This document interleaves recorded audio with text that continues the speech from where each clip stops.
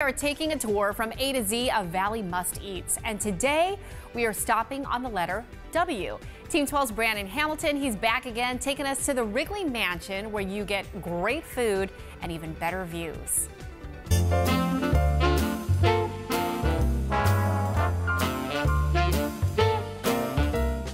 Perched above Phoenix, this elegant mansion with stunning 360 degree views has been mesmerizing the valley for nearly a century. The Wrigley Mansion was built in 1929 by chewing gum magnate William Wrigley Jr.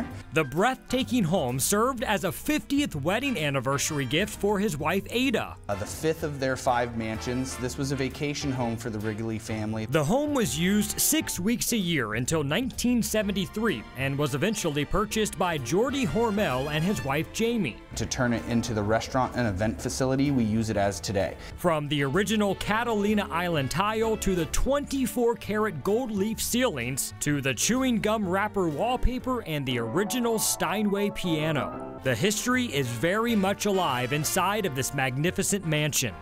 I can't think of another another place in the valley where you have the opportunity to see the history. The dining experience is second to none. Speaking of dining, James Beard award-winning chef Christopher Gross is now the executive chef of Geordie's restaurant and has completely transformed the menu and some other surprises that we can't talk about yet, but we're excited about everything up here. We are getting a small taste of the award-winning cuisine, starting with escargot and puff pastry.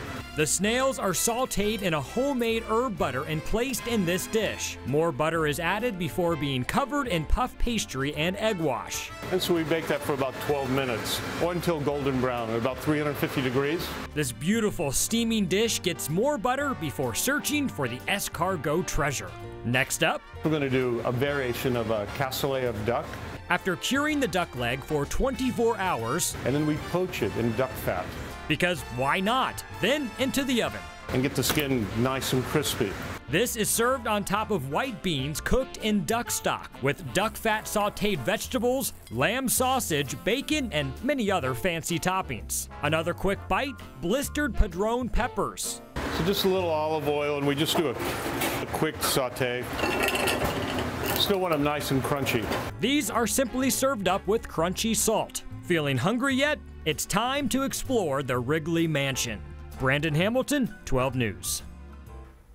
An Arizona classic right there. You can find all our must-eats on the 12 News YouTube channel. We want to send things on over to Brandon once again to see what's next on First at 4.30. Brandon, did you try any of those deals? I didn't try anything there, but the Wrigley Mansion is just fantastic. The history is second to none. You have to go there and check it out, that's for sure.